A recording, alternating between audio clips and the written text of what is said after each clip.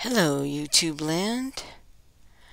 Here we are back at Adobe Illustrator 2023 once again. I have opened up Adobe Illustrator 2023 and clicked on the Learn menu right here. So let's see what else we can do today. The last one we worked on was the logo. I believe if I click over here, I'll find that, which is right here. Mine I don't think was very good.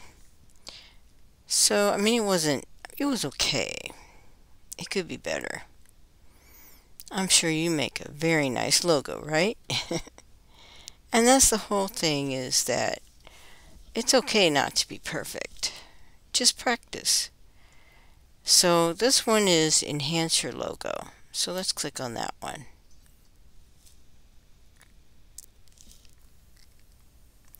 This one is a tutorial that's created by Brian Wood, which I believe he did the other logo tutorial. Let's make sure and read this assets information below. Assets can only be used in this tutorial and are sample files per Adobe's terms of use. You will need to buy a license to use the assets for other purposes. Some of the assets may be available for license on Adobe Stock. Check the asset copyright notice for more information. Okay? Now, this tutorial is called Enhance Your Logo. It's a hands-on tutorial for beginner five minutes long. Of course, it'll be a little longer by creating a video about it. Now you'll bring your logo to life by making precise adjustments and applying colors skillfully in this second tutorial of the Make a Logo series. Alright, here we go. Start tutorial. Yeah. Now these are your assets, everything that's in here. So that's what they were talking about. Now I have this on top of everything. This is the work area. This is an example. Alright, I'm going to set this right here for a moment.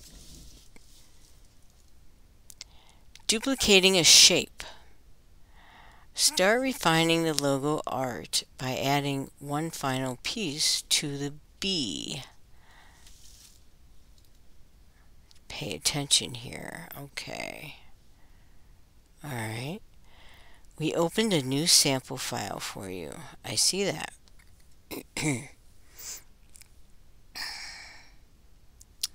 Alright. Select the selection tool and click the red line to select it in the work area. Again, when you see the bolded words together selection tool, that is the actual name of the tool that is over here in these lists of tools. And if you click on this little question mark, as soon as I can click on it correctly, there we are, it'll show you where it is and then when you click on the tool it will show you it will show a square around the tool that is a black square and then some more information here about the tool. Okay? We can click learn more. If I click on that it'll have more information about this tool However, that's not what I want to work with at the moment. Now, no fear. This is in another tab. It opened a tab right here. The one we were in is right here. Click on that tab. And then we can cancel. Let me see. Hold on. Click. Let me see what they did. There we go. Continue. Okay. If I click continue and I go back to this tab, then I'm right where I was. So now I have this tool, the selection tool right here on my mouse. That's what my mouse is now, is the selection tool. And so I have that and click on the red line. Okay, we're going to click on the red line, just like that.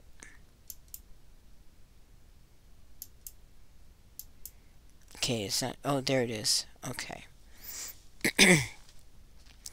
I don't know, sometimes I click on the mouse, it doesn't do anything. it's just me. Alright, number two, choose edit copy and then choose edit paste in front to put a copy on top. So what you're doing is you're creating, like it shows right here, a copy of the square, or rectangle rather, the red rectangle. You're creating a copy that's going to end up sitting on top of this copy, this particular one. So we'll have two of them. So we're going to click, now that this is highlighted, click Edit. We'll just do it the way they have listed there. Edit Copy. And then Edit Paste in Front edit, paste in front. Okay. And then three, click, select the rotate tool. Rotate is right there, just like the showing here. So click this tool. Make sure I'm going to right click and make sure I have rotate right there. And then number four, click once on the left end of the line. You just set the reference point and the line will rotate around where you click. So, they want you to click on the end here. Just one time. If you click once, you're choosing that particular point so that it rotates from that corner okay? So then you drag the right end of the line up so the angle of the line matches the angle of the dashed orange line as shown right there. So now that I clicked on there I'm going to click again and uh-oh why did it do that? Uh-oh I have it. Wow. Okay. Whoops. I did it backwards, didn't I? We're going to go back. Yeah, that one went on the other side. Huh, interesting. Oh. Click there click there. Yeah, we're on the other side. Alright, so what I can do is, oops, okay, put that back. Go back here. So if I, I can go back up here like this, right? Then I can go, oh, wait a minute, I was supposed to, oops, I was supposed to do that one. Uh-oh. I think what I'll do is go up here and I'll just go back to where I was. And this is what you can do. You know, you just go backwards. So you undo, you undo again, click edit undo, and you go back to where you started. And you're like, oh no, okay, wait, I gotta click on this side. So you click on this side. Now first, look at what tool you have. The best way you know what tool you have is to go over here on the left side and see which one is highlighted with the black box. Right click on it and you see where you're at. You have the rotate tool. Okay. I'm going to click on that just to close it. Now this time I'm going to click on this side.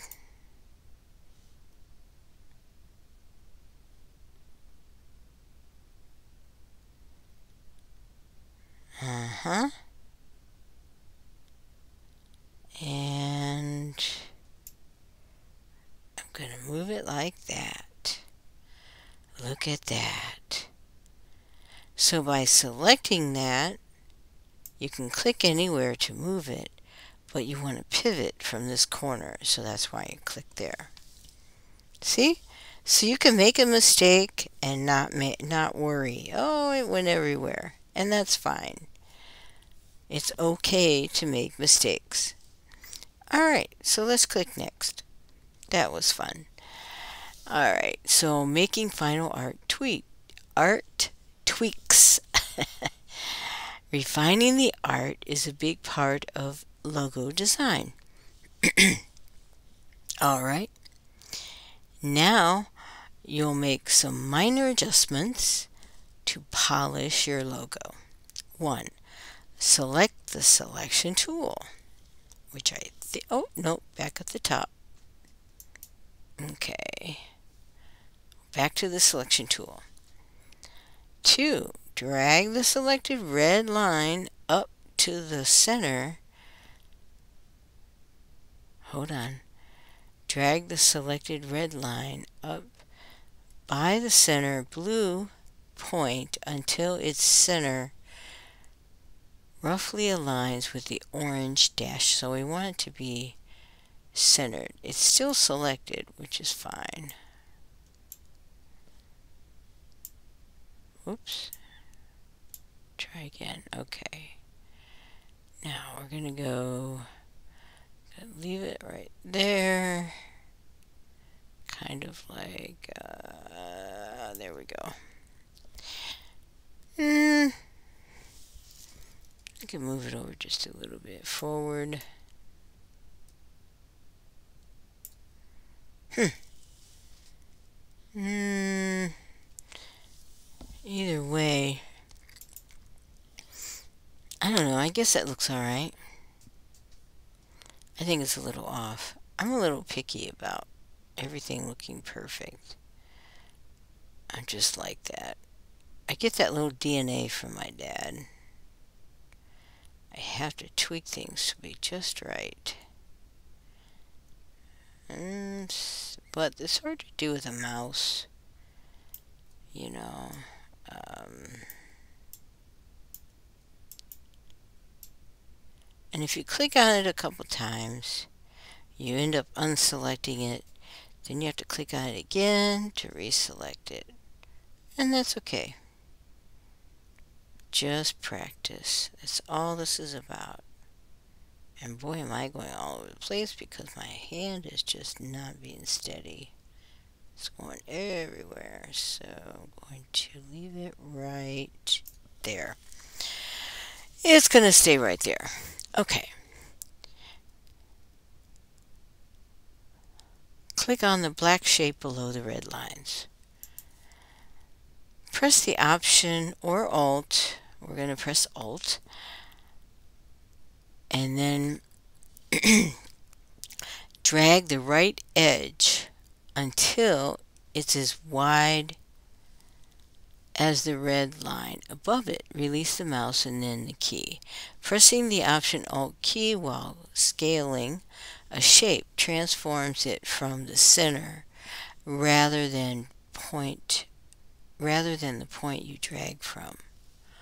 Okay, so let's see what it's doing here. Right. That's it? Hmm.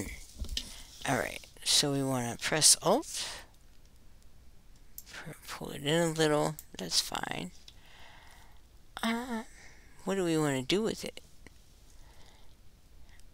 Until it's as wide as... Okay.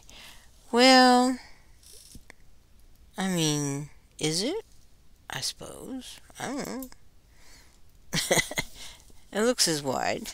Let's go to the next page. Can always change anything. This one's lined up real nice, huh? okay. Switching stroke and fill. Now, let's swap the fill and stroke colors for some elements to see if we like the look. So, number one, click the bee's wing to select it, which is right here. Make sure I have the selection tool, click it, and it's selected. 2. Click fill click swap fill and stroke toward the bottom of toolbar on the left. It looks like a little curved arrow and is above the stroke and fill boxes. Uh, click swap fill and stroke toward the bottom of the toolbar.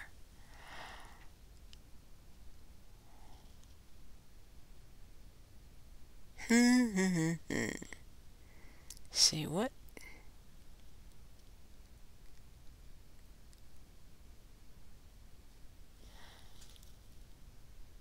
Wait, what? Click, swap, fill, and stroke toward the bottom of the toolbar in the left. That's not, this is, okay, hold on swap fill and stroke towards the bottom of the toolbar on the left. It looks like a little curved arrow and is above the stroke and fill boxes. Here's the stroke and fill boxes. And now this, well, I'm confused. What, what are you asking me?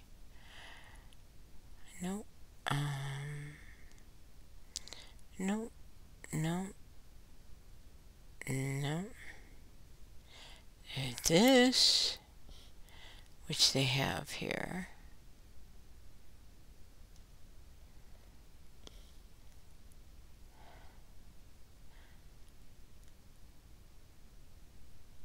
Swap them means that um,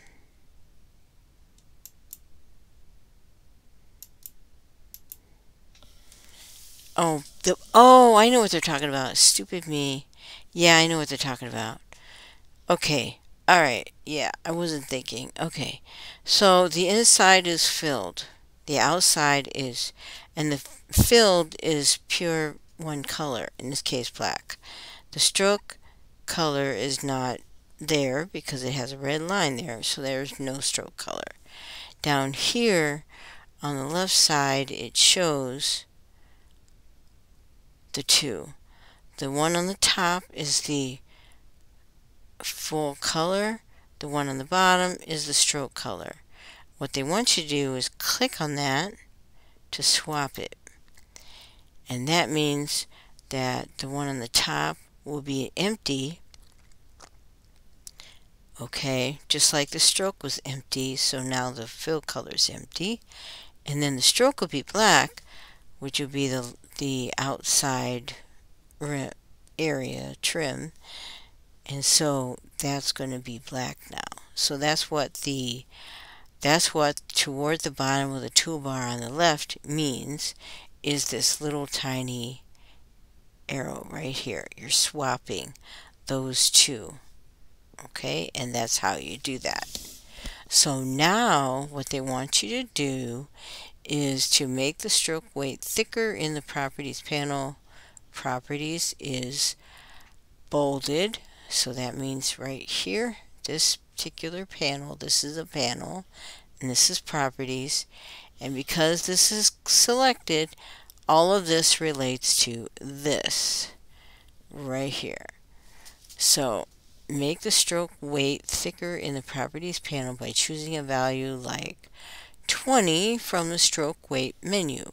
Weight is going to mean how thick it is. So we're going to pick 20 pixels, px pixels, right? And so that's going to make it 20. See how thick it is? And that's what stroke is, is the line all the way around. and then 4, click the word stroke in the properties panel and select align stroke to inside option as shown. So we click on stroke and then align stroke right here. And then let's see, align stroke to inside option, which is the center. That's what they want. Okay, align stroke to inside. Click. All right. So what that means is when you have a, a, drawing area, you can have the outside of the line or the inside of the line. In this case, the inside of the line. Okay, if that makes sense, I think that makes sense. So, five is practice swapping the fill and stroke by selecting the rotated square and performing the steps in this section. So if I click the square right here and I do the same thing, I can swap it down here, right?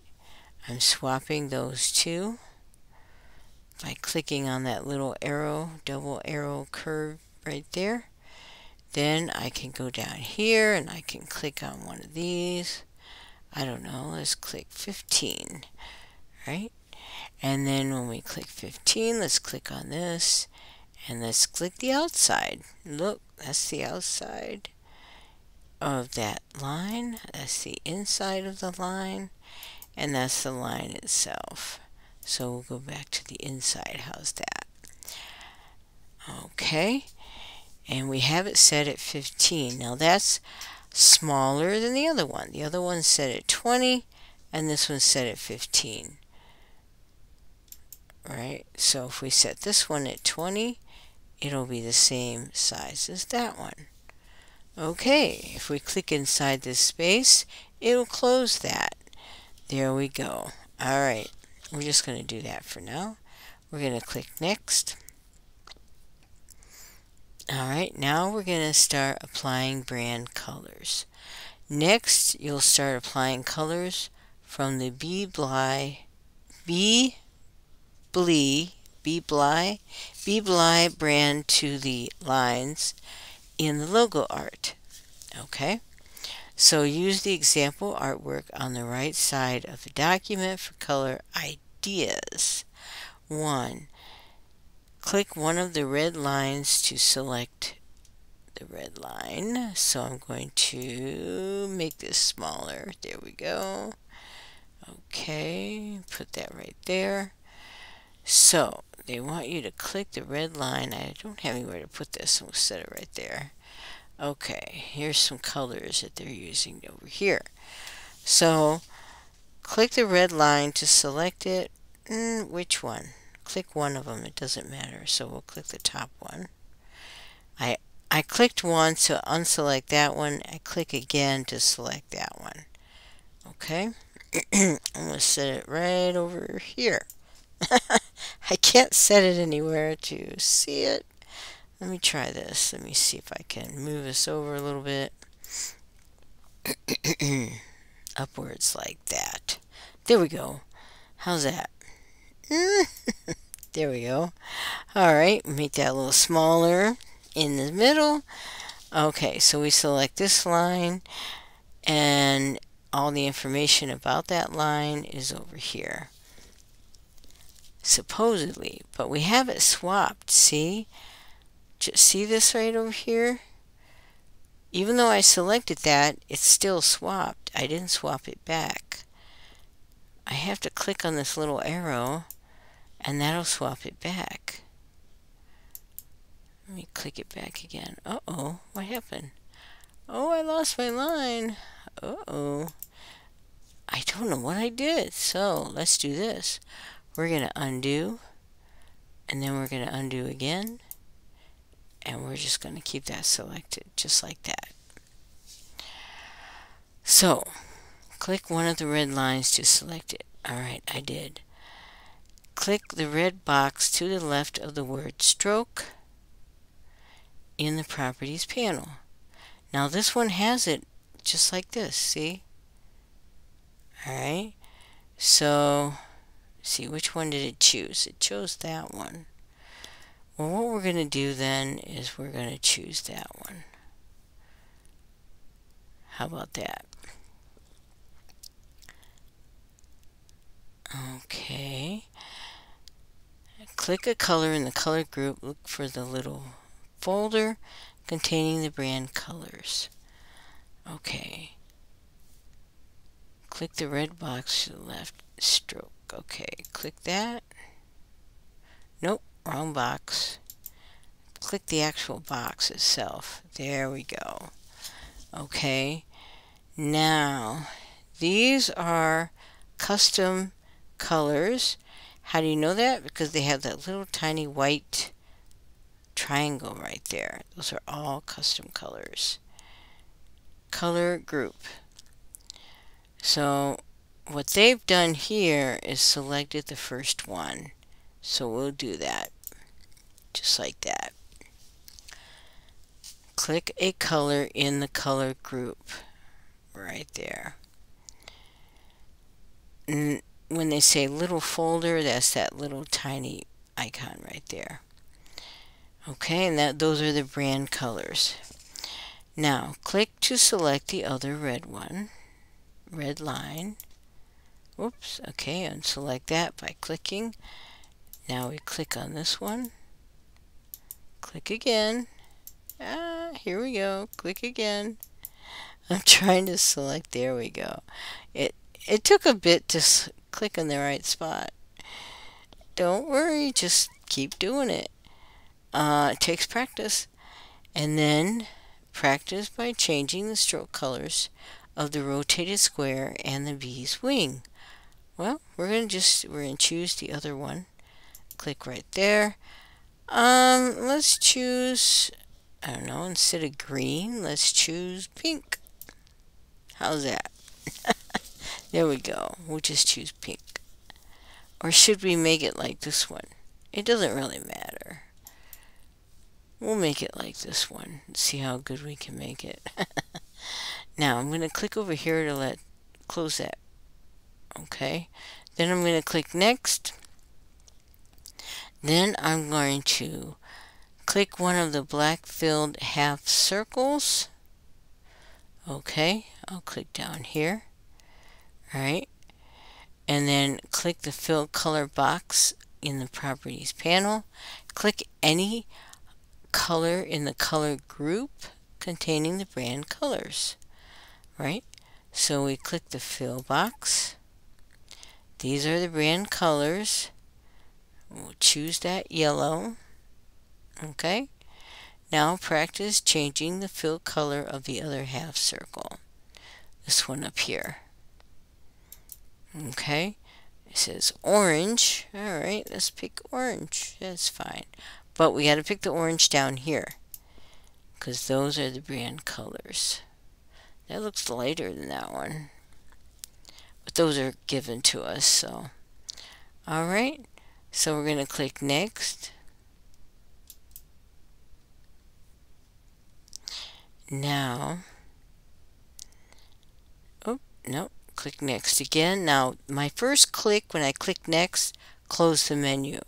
My second click is going to move to the next section. okay, I got to finish the logo. So I'm going to click here. And then that's, this is a stroke color. Because it has an inside that's empty and the outside that's like that. And so this would be this color right here. And they chose pink. So we're going to choose pink, which is right there. I'm going to click over here. Then I'm going to click this one, right, which is that one. We'll move this over. We have that selected. That again is a stroke color because of that right there, the way the inside's empty. So that'll be blue. There we go. Then we'll click over here and then we're going to click select, deselect. So none of them are selected. Now we're on the next page. Keep the logo art together. With your logo finished, you can group the logo art. Grouping makes it easy to grab the logo all at once to move, copy, and transform it. 1. Drag across all of the parts of the logo to select them. So first, make sure you have the selection tool, which they show, right? Then grab all the way across, just like that. You make sure all of them are selected. When you do that, there this will be real confused because you have more than one selection so it doesn't have anything you know it's the information's all confusing uh, number two in the quick actions section of the properties panel which is down here. Click group. Alright and that'll be clearing it up. Now it says group right? And then it says that dashed orange line won't be a part of the group because it is locked in place and you can't select it yeah that's part of a template that's not that's on a separate layer so that won't be part of the group there you go you selected it click next now like I said this will be some other information. I'm not quite sure. See, it has question marks because there are several different colors. So you have to choose each one individually for the appearance part to change. Um, and we'll go over all of these as we learn more about them. So, no big deal. Click Next. And there you go. So there it is. Select and deselect. Yeah. So if I click on the hand and I click on the logo, the whole thing should move together. Oh, no, wait. No, that's the whole unit. If I click on, let me see, is it this one? Oh, no, that's not it. No, no, no. So undo move. Okay. Now let me see. If I click on then I can yeah, there we go. Do it like that. Yeah.